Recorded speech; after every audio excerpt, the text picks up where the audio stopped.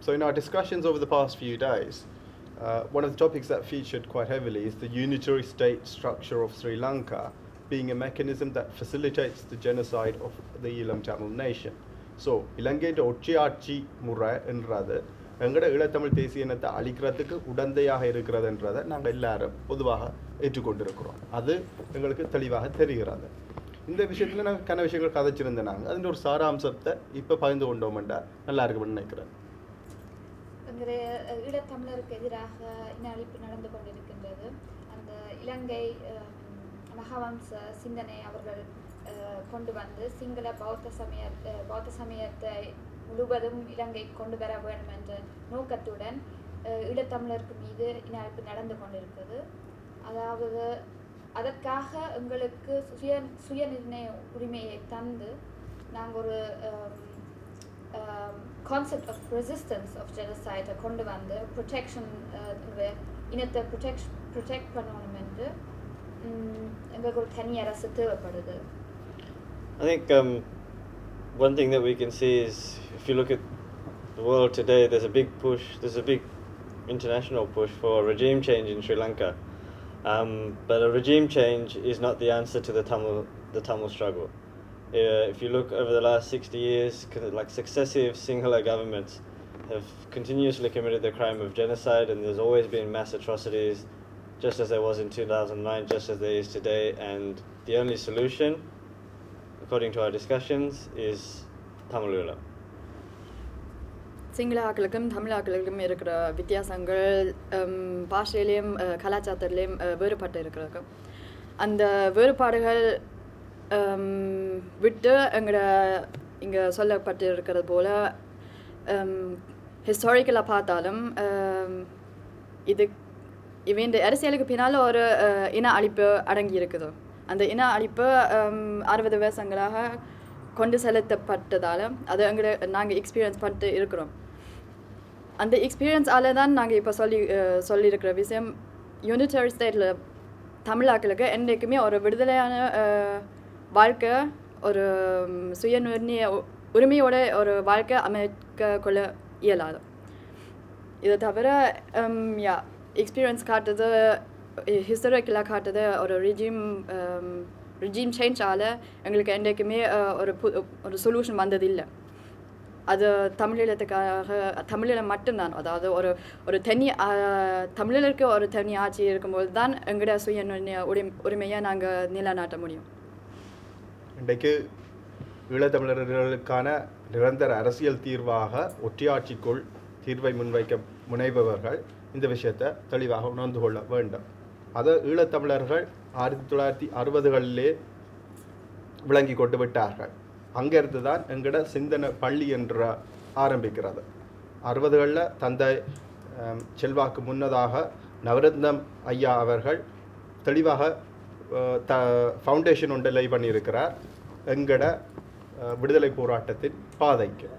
அந்த பாதை பிறகு தந்தை செல்வா காலத்தில் வட்டுக்கோட்டை தீர்மானம் ஊடாக மக்கள் ஆணையை பெறுகிறது.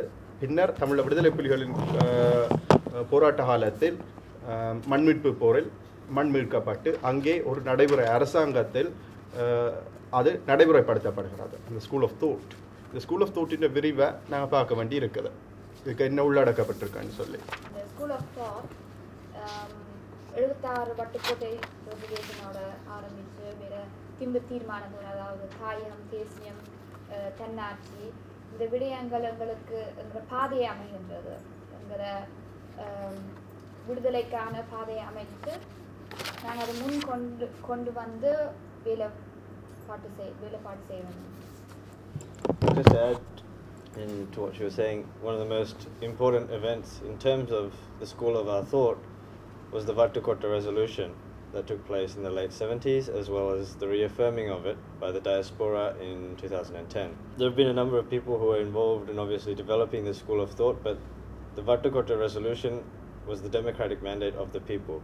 And to put it in a nutshell, that's the school of our thought. The Vatukota resolution, which basically calls for an independent Tamil homeland. And that's, that's the mandate of the people. School of thought வந்து எங்களோட அரசியல் தமிழ் அரசியலை ஏற்கனவே நிர்ணயிச்சது ஒன்று. தமிழ் மக்கள் அவன் வாய்ஸை வட்டுக்கோட்டை தீர்மானத்தால் ஏற்கனவே முடிவெடுத்துட்டாங்க. அந்த அவன் முடிவுகள் சரி என்றதை டிஃபாக்டோ ஸ்டேட் வந் டிஃபாக்டோ ஸ்டேட் ஏற்கனவே நிர் நிரூபித்தது இன்றைய காலகட்டத்தில் எங்களோட சிந்தனை பள்ளியில் மாற்றங்கள் கொண்டு வருவதற்கான முயற்சிகள் மிக தீவிரமாக நடைபெற்று கொண்டிருக்கின்றன. எங்கட ஸ்கூல் ஆஃப் தோட்டில் அடிப்படையாக இருக்கிற ஒரு விஷயம் வந்து ஈழத்தமிழ் இனத்தின் சோமினிட்டி எங்களுக்கு வரலாற்று ரீதியான இறமை இருக்கின்றது. நாங்கள் போராடி வென்றெடுத்த ஏன் சோமிழ்ச்சி இருக்கிறது மற்றும் இன அழிப்பிலிருந்து காப்பாற்றுவதற்காக எங்களுக்கு ரிமீடியோஸ் ரைட்டர் ரிமீடியோ சோமிழ்ச்சி இருக்கிறது. அதை அடித்தளமாக கொண்டு நாங்கள் பயணிக்க வேண்டிய இந்த வேளையில் மாற்றங்கள் என்பதற்கு நாங்கள் அனுமதிக்க முடியாது. இந்த மாற்றங்கள் இல்லாமல் எமது சிந்தனை பள்ளியின் பாதையில் நாங்கள் தொடர்ச்சியாக செல்வது எவ்வாறு என்று பார்க்க வேண்டும்.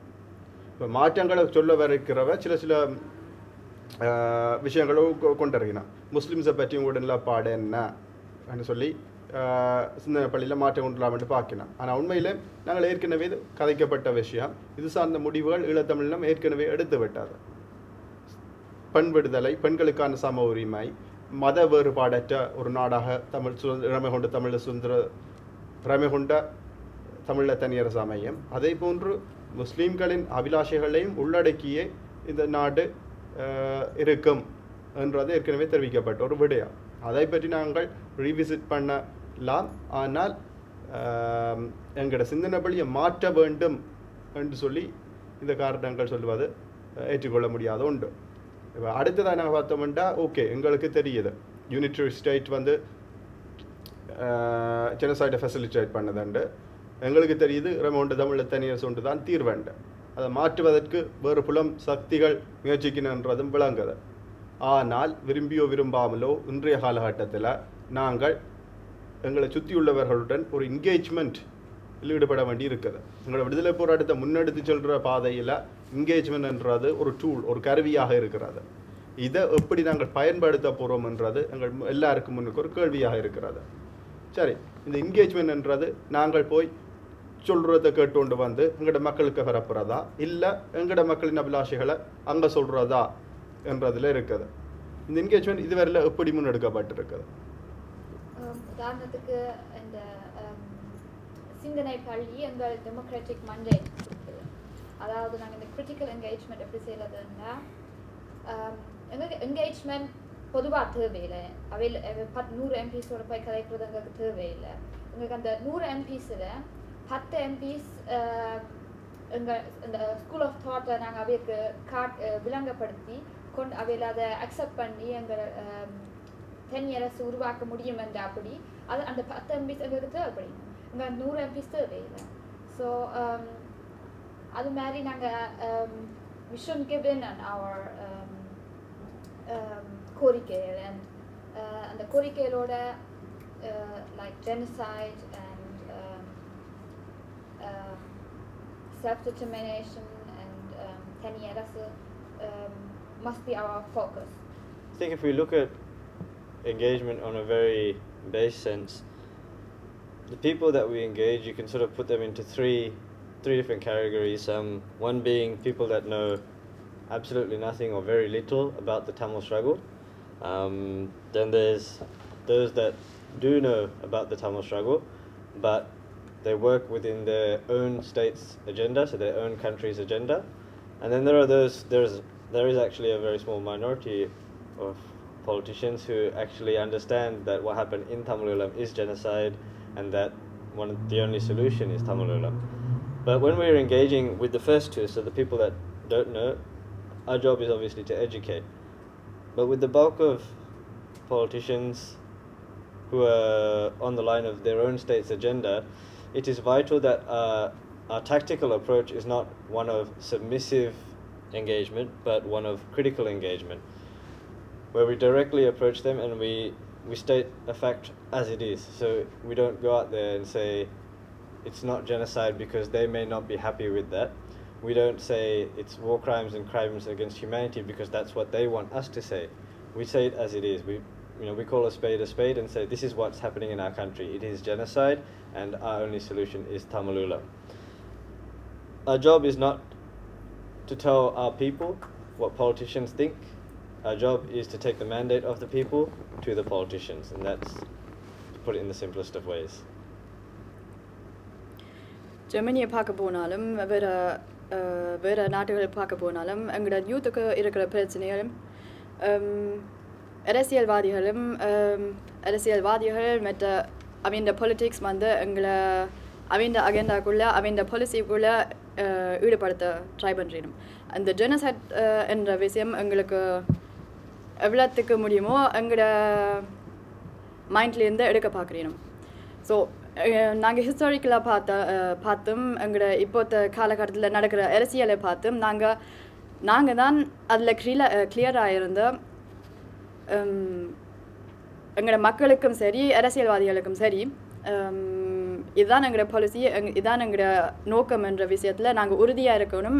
அது யூத்துக்கு ரொம்ப முக்கியம்னு நினைக்கிறோம். அதாவது ஜெர்மனியில் சொன்னால் நாங்கள் kritische ähm, Auseinandersetzung என்று சொல்லுவோம். அது யாரும் எங்களுக்கு ஒரு விஷயத்தை சொல்லும்பொழுது நாங்கள் அதை அனலைஸ் பண்ணி அதில் எவ்வளோத்துக்கு உண்மை இருக்கணுமா நாங்கள் பாசிட்டிவும் நெகட்டிவும் ரெண்டையும் சமமாக பார்க்க வேண்டிய நிலைமையில் இருக்கிறோம். ஜஸ்ட் யா வெள்ளைக்காரன்றதால நாங்கள் அதை அப்படியே எடுத்துக்கொள்ள வேண்டிய நிலைமையில் இல்லை. அவி எங்களுக்கு அவி தான் எங்களுக்கு எங்- எங்களுக்கு என்ன தேவைன்ற சொல்கிற நிலைமையிலும் எங்களுக்கு இல்லை. ஸ்கூல் ஆஃப் தாட்ஸ் எங்களுக்கு அந்த வழியில் சொல்லியிருக்கு. நாங்கள் அதன் பின் தொடர்றது எங்களோட பிரின்சிபலை விடாமல் கிளியராக கிளியராக இருக்கிறது தான் எங்களுக்கு முக்கியமான விஷயம் நினைக்கிறோம். ஆமாம் எங்களோட சிந்தனை பள்ளி வந்து it's founded on principle positions அந்த பிரின்சிபல் பொசிஷன்ஸில் விட்டு கொடுப்புகளுக்கு இடமே இருக்காது இதை விட டெமோக்ரஸி என்று கதைக்கிறவ கூடுதலாக எங்களை திசை திருப்ப வலிக்கிறவ டெமோக்ரஸி என்று கதை கேட்க நாங்கள் சிம்பிள் சொல்யூஷன் உண்டை வைக்க முன் வைக்கிறோம். ஒரு ரெஃபரண்டம் நடத்துங்க. UN sponsor referendum among the Eelam Samos both in the homeland and in the diaspora. அதுக்கு தயங்குறவ டெமோக்ரஸியை பற்றி என்னென்று எங்களோட கதைக்கலாம் என்ற ஒரு பெருங்கேள்வி எங்களுக்கு அழுகுது இந்த கேள்வியை நாங்கள் திருப்பி முன் வச்சோம்டா. ஒரு டெமோக்ராட்டிக்லி எலெக்டட் எம்பிகிட்ட போய் நாங்கள் ரெஃபரண்டம் வேணுமென்று சொல்லிக்க அவர் அதுக்கு பின்னடிக்கிறாரண்டா. What's his commitment to democracy என்ற கேள்வி எழுப்புறது ஒரு கிரிட்டிக்கல் என்கேஜ்மெண்ட் இப்படியான செயல்களை நாங்கள் செய்ய தவறைக்க தான் எங்களோட போராட்டம் எங்களோட சிந்தனை பள்ளியில இருந்து திசை திரும்ப தொடங்குது. அதுக்கு நாங்கள் அனுமதிக்க முடியாது. அப்போ இந்த திசை திருப்புகளை நிறுத்துவது எவ்வாறு என்றது எங்களோட கடமையாகத்தான் இன்றைக்கு இருக்குது. எங்களோட பாதையிலிருந்து நாங்கள் குறி தவறாது அல்லது இலக்கு தவறாது செல்லப்போகிறோம் என்றால் அதற்கான சில வடிவமைப்புகளை நாங்கள் நிச்சயம் போட்டே ஆக வேணும் இப்போ இந்த வடிவமைப்புகள் எப்படி அமைகின்றன? I think um, we have to understand, especially today, the democratic nature of our struggle. And um, as has already been said, our very struggle has been based upon the democratic mandate of our people. And as such, the people, like activists, have a responsibility to uphold that mandate, and our people, on the same same grounds, have a responsibility to hold us as activists and as Tamil organizations accountable for what we do. And um, part of that is, you know, being able to accept constructive criticism as activists and how we approach that criticism. Yeah, right. And um, we have to tolerate the criticism as well. Uh, we have to respect the criticism. And um, நாங்கள் um, we, we are servants of the people, not uh, we're not doing charity or something else. சரி இந்திய காலகட்டத்தில் நாங்கள் ஒரு செயற்பாட்டாளராக இருக்கிறோம் என்றால் நாங்கள் ஒரு சில அமைப்புகளில் இருந்து கொண்டு ஈழ விடுதலையை நோக்கித்தான் செயற்படுகிறோம் என்று சொல்லி கொண்டு இருக்கிறோம் இதில் யாருக்கு பொறுப்புகள் என்னென்ன பொறுப்புகள் யாருக்கு இருக்குன்றதை பார்க்கணும். ஒன்று எமது மக்கள். எமது மக்கள் வெறுமன டெமோக்ரட்லி எல்லா ஜனநாயக முறையில் எங்களுக்கு இறமை கொண்ட தமிழர் தனியரசு தான் தேவை என்று சொல்லி போட்டு இருக்க முடியாது. அந்த பாதையில் தான் நாங்கள் பயணிக்கிறோமா என்று எங்களை கேள்வி கேட்பதும் அதிலிருந்து நாங்கள் தவறும் போது நம்மை சரியான பாதையில் வழிநடத்துவதற்கான அழுத்தங்கள் தருவதும் மக்களின் பொறுப்பு அப்போ அந்த பொறுப்பை அந்த ரெஸ்பான்சிபிலிட்டியை மக்களை ஏற்றுக்கொண்டு தங்களோட ரைட்ஸ் இருக்குது people have the right to hold us accountable but whether the exercise it not is what's becoming கொஸ்டின்னா so they have to be they have to take on the responsibility to right exercise the right to hold us accountable மக்கள் வந்து தான் எங்களோட மூவ்மெண்ட்டை கொண்டு செலுத்த முடியும். எங்களோட மக்களின் power அதாவது ரெண்டாயிரத்தி ஒன்பதுக்கு முதல் எங்களுக்கு ஒரு எங்களுக்கு எங்களோட பாலிசியை குரல் கொடுக்கறதுக்கு ஒரு பவர் இருந்தது. ரெண்டாயிரத்தி ஒன்பதுக்கு பிறகு அந்த அந்த வேலை வேலை வேலைகள் எல்லாரும் மக்கள் தான் கையில் எடுக்க வேண்டிய சூழ்நிலை இருக்குது. அப்படி இருக்கும்போது நாங்கள் ஆக்டிவிஸ்டாக அவைய அவை சொல்கிறத மட்டும் கொண்டு செலுத்துகிற ஃபங்க்ஷன் தான் எங்களுக்கு இருக்குது. அதை விட மக்களுக்கும் அந்த ஆக்டிவிஸ்ட்டுக்கும் இந்த டைமில் ஒரு நெருக்கம் அஹ், ஏற்படுத்த வேணும் மக்கள் சரி ஆக்டிவிஸ்ட் சரி ஒரு பக்கத்தால் போகும்போது எங்களோட போராட்டம் தங்கி நிற்கும் என்று தங்கி நிற்கும் I'd just like to add, I think at the same level, there's also there's also a need that activists and um, organizations are quite transparent about how they approach, um, just for example, engagement with um, politicians. They have to be transparent about the results of it and how they actually approached it.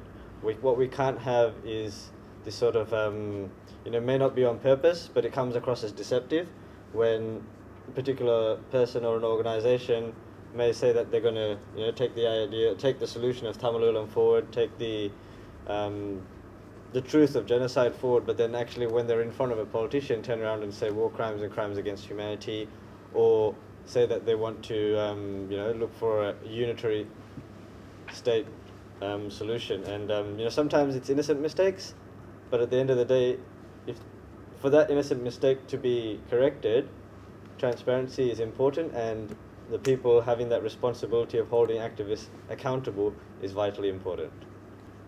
இன்றைய எங்களோட கலந்துரையாடல்கள் இன்றை- இன்றைக்கும் சரி நாங்கள் தொடர்ச்சியாக நடத்தி வரும் கலந்துரையாடல்கள் ஊடாக எங்களால் அறியக்கூடியதாக இருந்தது ஒன்று Ju- the unitary state of Sri Lanka, the state structure, is a major problem for us. That's what's facilitating the genocide of our nation.